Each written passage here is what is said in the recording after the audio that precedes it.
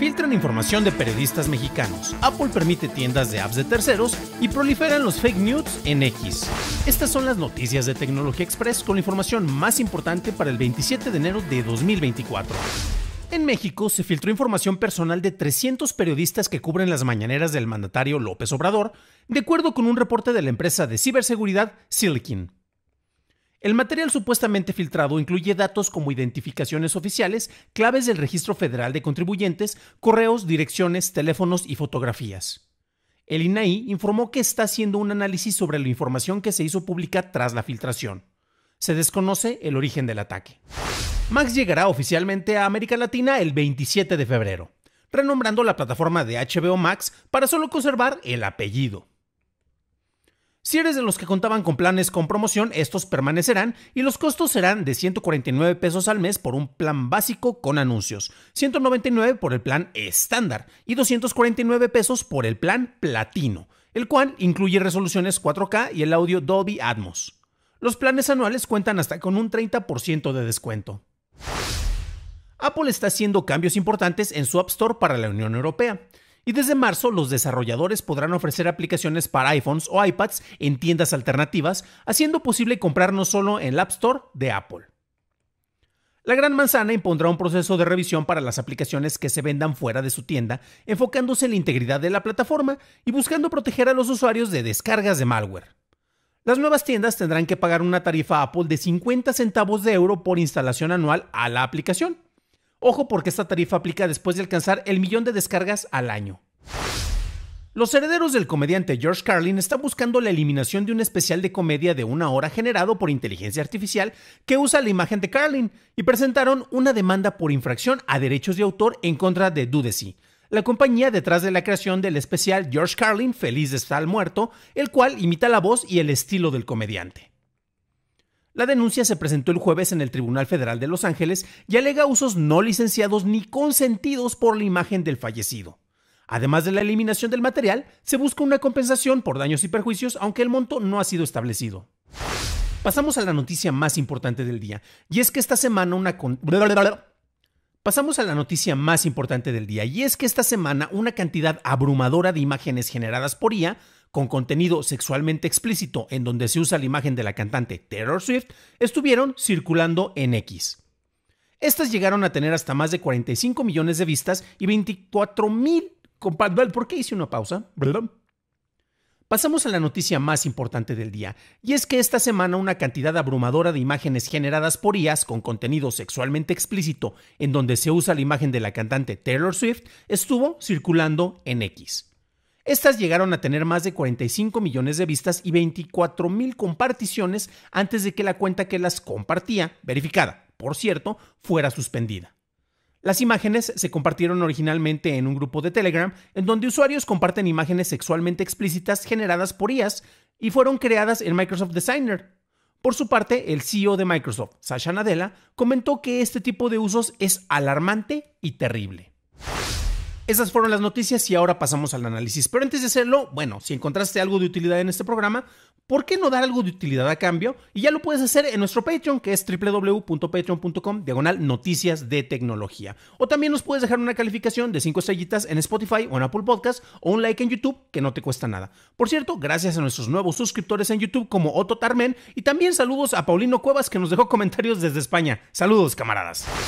Hace algunos días en X expresaba mi frustración en cómo cuando haces búsquedas en distintos motores, como Google por ejemplo, cada vez eh, estas búsquedas se han vuelto muy inútiles. Y esto ahora se ha incrementado dramáticamente ya que si buscas imágenes o encuentras ligas a Pinterest o encuentras eh, ligas a imágenes generadas por inteligencia artificial. Y bueno, en el caso de preguntas de texto, por ejemplo, ahorita para editar un video estaba buscando algunas herramientas de Resolve que no me acordaba los shortcuts y me manda siempre a videos o a cuestiones, textos que fueron escritos eh, pensando en la optimización de SEO y honestamente la búsqueda de respuestas directas a preguntas concretas se está volviendo cada vez más complicada. Pero bueno, esta semana una de las notas más mencionadas fue precisamente la proliferación de imágenes hechas con generadores basados en inteligencia artificial, en donde se abusaba de la imagen de la popular cantante Taylor Swift y las imágenes mostraban contenido sexualmente explícito.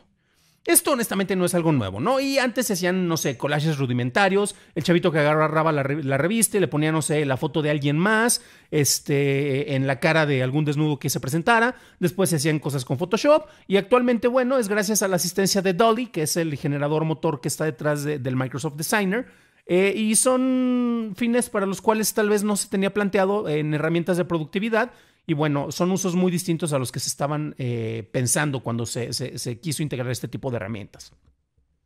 Una de las alertas que se levantaron ante la facilidad y proliferación de herramientas generadoras de imagen era que estas podrían ser utilizadas para generar noticias falsas y estas promoverían la desinformación en varios sectores, particularmente de cuidado ahorita que estamos llegando a periodos de elecciones en distintos países, bueno, México, Estados Unidos, en Argentina, en Argentina pasamos por elecciones hace relativamente poco, entonces imagínate los partidos de la oposición, el tipo de notas que podrían generar precisamente para difamar a tu candidato.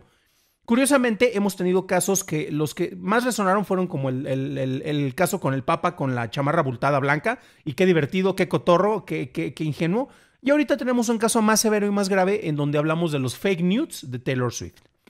Y mientras que el caso de Swift gana notoriedad gracias a su fama, ya que se difundió en la decadente plataforma antes conocida como Twitter, en donde la cuenta que estuvo posteando estas imágenes no fue suspendida sino hasta 17 horas después. Y ojo porque en la nota de 404 se mencionaba, por ejemplo, cómo eh, de repente se posteaba contenido legítimo como un clip de un concierto en un GIF o algo por el estilo, y ahí mismo a través de, hashtags este, trataban de disfrazar y después metían la liga precisamente para el contenido sexualmente explícito. Entonces, ay, mira, estos hackers, ¿cuáles hackers? Estos malditos mocosos imberbes que están utilizando la imagen de alguien más, qué viejito me estoy escuchando, este, sin su consentimiento, pues estaban utilizando distintos trucos para que no les quitaran los posts. Eh, y claro, eso hizo que, que X que actualmente tiene muchísimo menos personal eh, haciendo revisión sobre los contenidos que tiene, pues se tardará casi un día en tratar de ubicar y suspender una cuenta que aparte tenía la palomita azul de verificación, por lo cual, ay, esa iba a ser una herramienta para evitar que se propagara desinformación. Hay cuentos chinos que se cree Elon Musk con esas cosas, pero bueno, ¿no? Y bueno, como mencionaba, este caso no es ni el único ni el ni exclusivo. Y es que el sector femenino en Internet siempre ha sido particularmente vulnerable a este tipo de usos y de abusos. Eh, desde luego, prácticamente si no eres blanco, hombre blanco, heterosexual, privilegiado, eh, pues básicamente vas a poder ser atacado por distintos sectores. Y miren quién se los está diciendo en este caso. Y es que si nos vamos a nivel micro, es muy triste que este tipo de herramientas también puedan ser utilizadas y tenemos casos, este, y me encanta porque ni siquiera tengo que dar ejemplos porque seguramente pueden ubicar a alguien en donde, ah, hice un montaje tal vez este, con la figura de, ay, este, eh, la, chica de recursos humanos, ay, de una compañerita de escuela. E hicieron montajes, fotomontajes que ahora cada vez son más fáciles gracias a estas herramientas generadores de, imagen a texto, en el cual puedes meter imágenes para hacer este, algunas modificaciones. Y si bien estos son usos que no están permitidos por las versiones públicas, pues tú también puedes descargarlas y hacer, honestamente es bien fácil también truquear los prompts para generar este tipo de resultados y se causa un gran daño a la imagen de la persona que se está utilizando su imagen sin su consentimiento y pues va completamente en su detrimento. Y son sectores que, como yo mencionaba, particularmente el sector femenino, este, están, son muy vulnerables a este tipo de ataques, ¿no? Eh, y bueno, es aquí en donde el manejo de políticas y restricciones debería de entrar en juego. Y se muestra nuevamente la complejidad de cuando tú estás dando el uso público a una herramienta que debería ser más mesurada. Yo ya lo he mencionado en varias ocasiones en el caso de Google y de BART, como distintas herramientas, antes de que fuera BART, este, en, generaciones anteriores, Google ya mostraba que hacía cosas incluso mucho mejor que las herramientas de OpenAI, pero fue OpenAI quien obligó a Google a lanzar una herramienta de acceso público con ChatGPT y otros generadores como el Dolly o Midjourney, que bueno, son parte de otra compañía. Y precisamente esto fue donde Google no lo hacía porque sabía de las consecuencias de los usos que podría haber con usuarios generales y ahorita lo estamos viendo, literalmente se liberó y se abrió la caja de Pandora, ¿no? Y por ejemplo, hay muchos que pueden defenderse alegando de, oh, es que estás atentando contra la libertad creativa o la libertad de expresión, que a cómo malentienden esos, esos términos, especialmente en Estados Unidos, pero la cuestión es que el uso de imagen ajena es un tema muy delicado y debe de ser muy cuidado.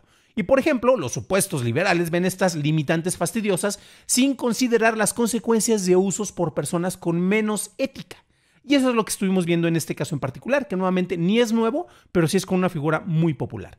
Y es que el tener una herramienta generadora de imagen puede ser increíblemente útil cuando no encuentras una manera de plasmar lo que quieres o no tienes el talento para hacerlo por ti mismo. Y en otros casos tenemos situaciones que llegan en una línea gris. Por ejemplo, Ustedes vieron la imagen de portada que, es, eh, que compartí sobre todo en, YouTube, que también está en los posts, en los show notes. Y la imagen que se está viendo pues está relacionado con una chica rubia y el manejo de los rasgos está imitando a Taylor Swift. Y bueno, eh, estos casos es un tanto gris. Eh, por ejemplo, si me están acompañando en video, eh, esta imagen precisamente la encontré buscando manejo de licencias, Creative Commons, bla, bla, bla, bla, bla, bla. Google me dijo, esta la puedes utilizar. Ojo, porque no confío en Google en, en estas cuestiones. Por eso la imagen fue alterada y de hecho fue recortada en comparación con la que están viendo acá. Y si nos vemos a ver, si nos ponemos a ver cómo se titula, es Taylor Swift Gagged at Pool 82. Es una imagen creada por Elite 95, a.k.a. Talha y la imagen, pues en sí tal vez no sea tan dañina, tal vez no vaya en detrimento de Taylor Swift, pero dudo mucho que sea una imagen licenciada y una imagen que a Taylor Swift le guste mostrar.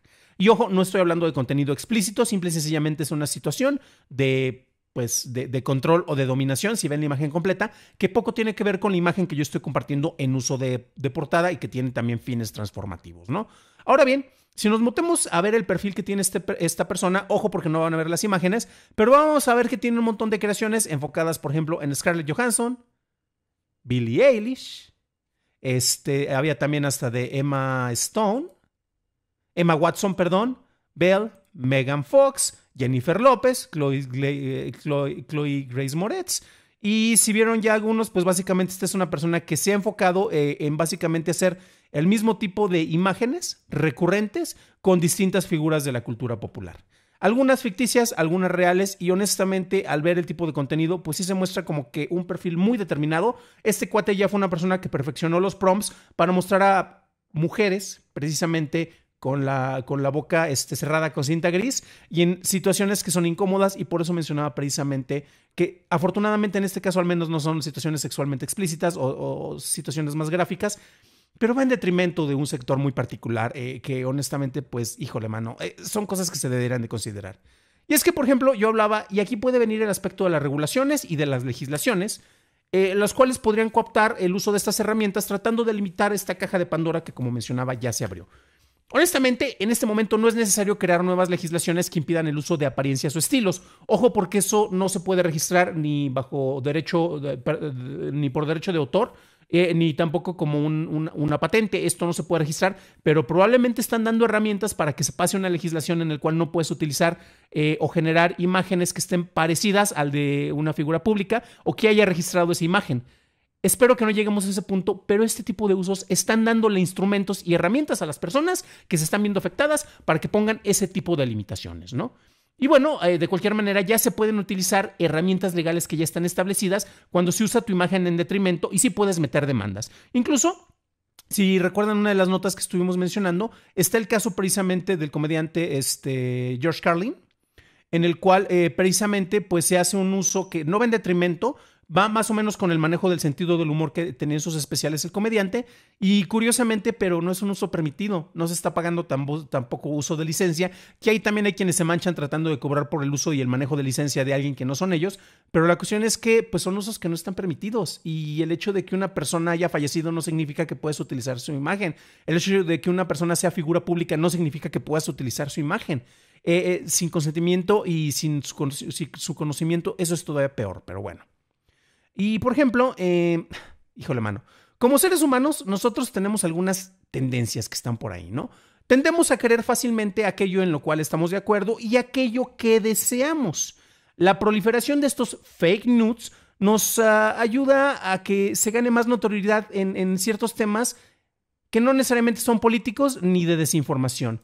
Y esto nos está mostrando que seguimos muy atados a nuestros instintos más básicos relacionados con el Eros y con el Thanatos. Y más con esta, eh, tenemos esa relación más, más clavada que con la realidad que existe a nuestro alrededor. Y es triste que se tenga que plantear como solución el manejo de legislaciones o limitaciones, pero los usuarios muestran una falta de ética y responsabilidad con el uso de imagen ajena. Por ejemplo, ¿qué tan cómodo te sentirías tú si se utilizara tu imagen para alterarla, mostrarla en situaciones con las cuales no estás de acuerdo y si difundieran sin que tú estuvieras dando un consentimiento? Para una revisión más a detalle en inglés, visita dailytechnewshow.com en donde encontrarás notas y ligas de interés. Y si quieres saber más sobre los inicios del auge de los generadores de imágenes, revisa nuestro episodio 191 en donde encontrarás más información. Eso es todo por hoy. Gracias por tu atención y nos estaremos escuchando en el siguiente programa. Deseo que tengas un increíble fin de semana.